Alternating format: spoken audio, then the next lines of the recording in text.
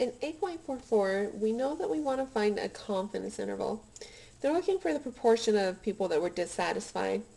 From past studies, they think that it'll be about 0.15. So their, their guess for the population proportion is 0.15. This is based on old data.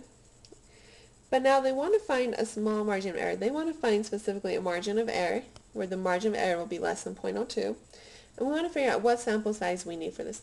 Now the problem with proportions is you have to have some guess for the proportion before you can figure out the sample size for your margin of error, which is why they did their past guess here.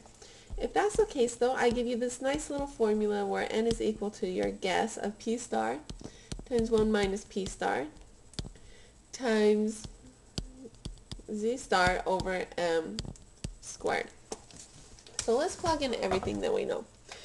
So n is going to equal to p star. That's our old guess of 0.15 times 1 minus our 0.15 times z star. Now, coming off here, if this is a 95% confidence interval, you say I'd want 0.95 in the middle, or 0.025 to each side. And looking it up on your table, you can find the z star is 1.96 for right here, because from here all the way over is 0.975 is what you have to look up. So z star is 1.96. So we have 1.96. Our margin of error we, error we want is 0.02. We're going to square it, and this gives me 1,224.51. Now, we should always round up because you can't really survey half a person.